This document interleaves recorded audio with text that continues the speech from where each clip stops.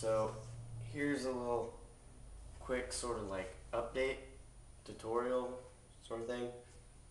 I just now figured out how to do the uh, Take My Baby that was performed on Trick a Day. It is not exactly perfect yet because I just now figured out how to do it.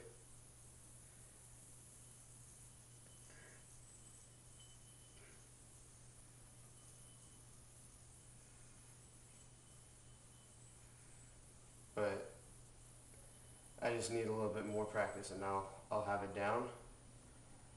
But uh, I just thought you guys might want to know how to do it so that you can start practicing. So what you do is split bottom mount. He does whatever combo, you can really do almost whatever, but as long as you end in like this, like you were gonna do a, like what you would happen when you're in Houdini mount and you pop it off to do gyroscopic flop.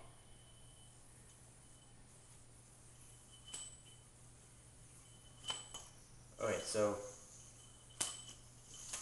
what you do is you go whatever combo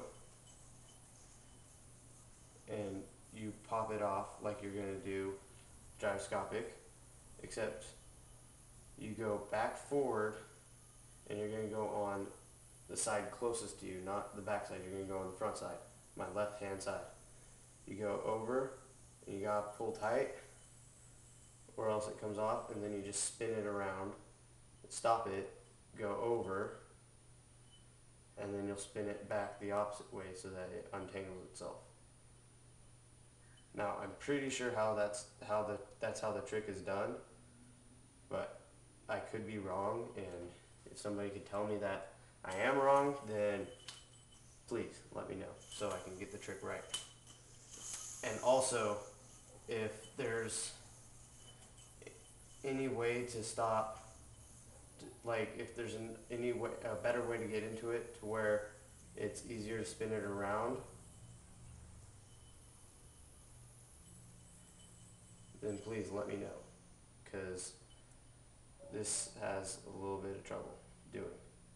But yeah, thought that yo-yoers just might want to know.